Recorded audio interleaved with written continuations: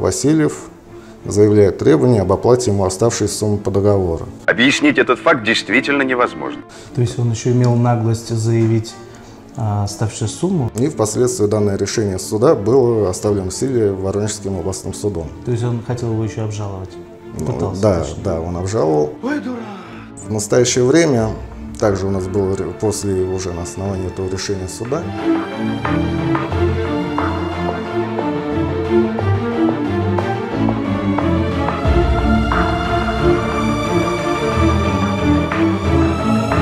Жители города Борисоглебск, вы прежде всего заинтересованы в том, чтобы этот сюжет максимально распространился, чтобы люди знали правду, чтобы никто ни при каких обстоятельствах не попадал в аналогичные ситуации. Распространите среди друзей, знакомых и близких, максимальному кругу лиц. Если вы пострадали от действий Васильева или Мартакова, обязательно пишите в комментариях под этим видео. И если вы до сих пор не подписаны на наш канал, сделайте это прямо сейчас. Здравствуйте. добрый день. Представьтесь, пожалуйста. Меня зовут Сергей Юрьевич Беломыцев, я адвокат и представлял интересы э, Чепрасова Алексея Николаевича, у которого был спор с Васильевым Станиславом Леони- Леонидовичем. Де- девушка с Воронежа Зачем на ваша, руку, да? руку на женщину Девушка, Вот поднял? Воронежа ваша. Слышишь или нет? Вот эта девушка Зачем Воронежа руку? э, юрист э, нашего города Борисоглебска. Вот. Спор возник на основании того, что Чепрасов Алексей Николаевич, мой доверитель в последующем, он обратился за юридической помощью к Васильеву Станиславу Леонидовичу, согласно которой последний взял на себя обязательства по решению земельных вопросов. Они заключили соглашение между собой. Согласно условиям соглашения, оно было заключено на срок 6 месяцев. И там было несколько вопросов по поводу землеустройства. Моим клиентам была исполнена обязанность, предусмотренная договором, а именно оплата, предоплата в размере 130 тысяч. И согласно взятым Васильевым на себя обязательствам, после этой предоплаты он должен был произвести определенную договором работу. Несмотря на это, спустя где-то около, ну, почти год получается, договор исполнен не был, хотя, как я указывал ранее, срок его действия был э, на 6 месяцев, то есть он истек, получается, в марте 2018 года. В августе 2018 года Васильев заявляет требования об оплате ему оставшейся суммы по договору. Объяснить этот факт действительно невозможно. То есть он еще имел наглость заявить а, оставшую сумму, чтобы оплатил, правильно я понимаю? Да.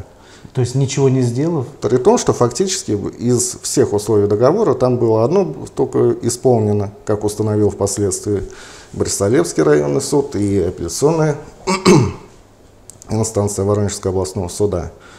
Э, А остальные условия, которые были согласованы по договору, основная их часть, они просто были не исполнены. Таким образом, в августе он заявил требования к моему подзащитному доверителю о выплате ему оставшейся суммы э, де- денежных средств в размере 110 тысяч рублей.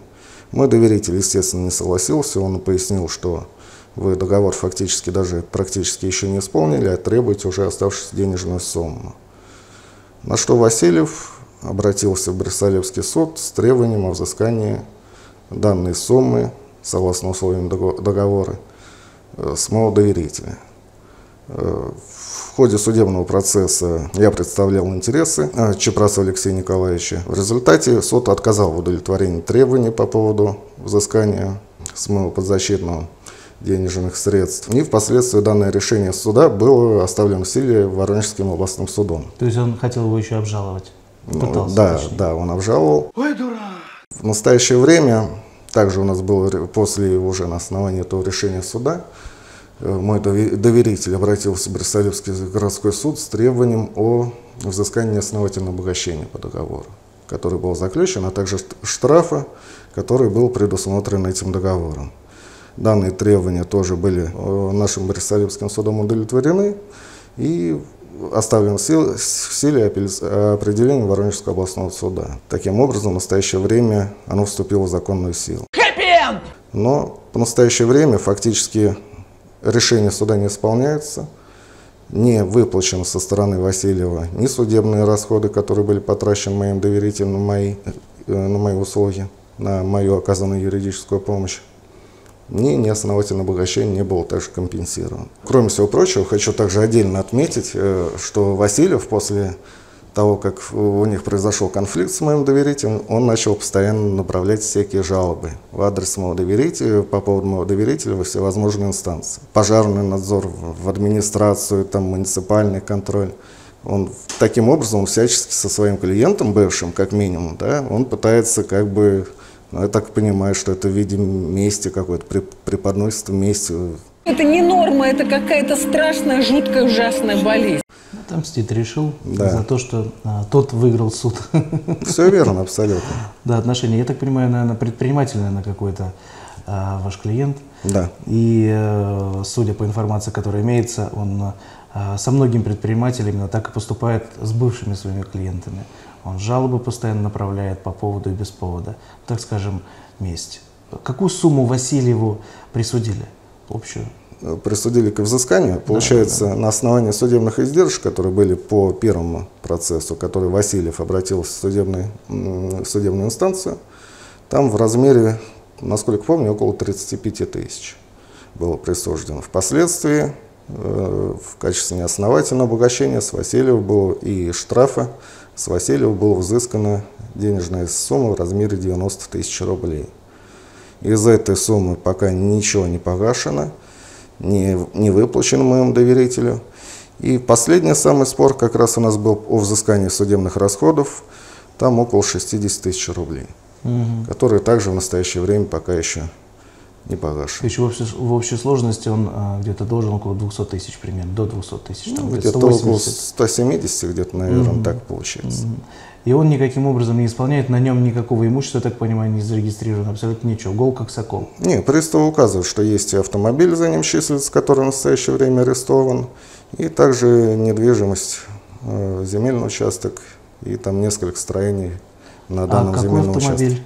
а, у него? Автомобиль, насколько я знаю, м, точно не могу В аресте именно, у- утверждать, но насколько мне известно, это, по-моему, марки Мерседес. А перспективы и реализация этого имущества имеются?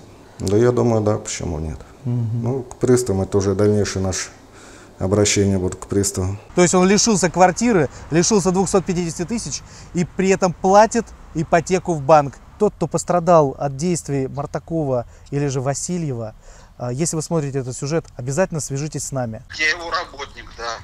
Все, я понял, Дим. Все, Просто хорошо. вспомни, мы с тобой, когда эти деньги ездили, снимали, я ему звонил, говорил, типа, так и так, что остальную там часть завтра снимет, он меня заставлял ездить даже по другим банкоматам. Кто из них врет, получается? А я не знаю, мне кажется, они уже оба... не Они забрались да. настолько, что кому верить? Это вообще кошмар. Бессовестный нахал, а попрал, блядь. А вот дома вы будете кошмар. Посмотрим, вытолкнул его. С квартирой, с ипотечной как быть? Квартира вы ипотечная, у вас другое жилье есть какое-то? Нет.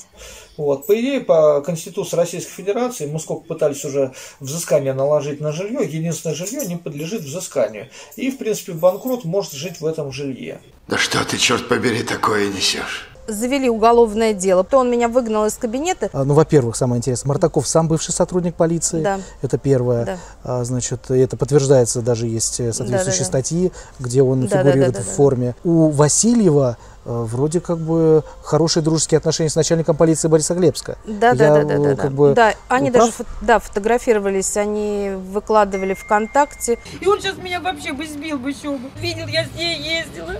Совершаете провокацию, а позже вернете, будет деньги с меня вымогать. Я Даже так так? Помогать деньги. Ладно, давайте. Оп, закрылся. не сядь, вы свое лицо-то видели фотогеничное, чепушилное. Вы не видели лицо, это чепушильное лицо вы свое Не видели. Ты на женщину зачем руку поднял? Вы вот еще Да я стажер, я здесь всего неделю. Не Вы ставлю. деньги брали 10 тысяч, правильно? Я не считал, я передал вот тут. Вы понимаете, в каком свете он сейчас себя показал? В крайне негативном. э, И сейчас те, кто с ним будет работать, весь оттенок, отпечаток, э, будет э, наложен на тех людей. То Да я уже понял. Вот это вы понимаете, да? Конечно. А, То есть это как бы вот репута- репутационный такой момент, что в своем городе он настолько низко себя повел, применив физическую силу к женщине, что он, он, он просто по- должен был, вот просто он сейчас должен банкротом себя объявить, моральным и как, как компания. Как вы поняли, это еще не все. Это не конец истории, а только начало. Продолжение следует. Васильев, держись. Наша Санта-Барбара только начинается. Жди следующей серии. Ha ha ha ha!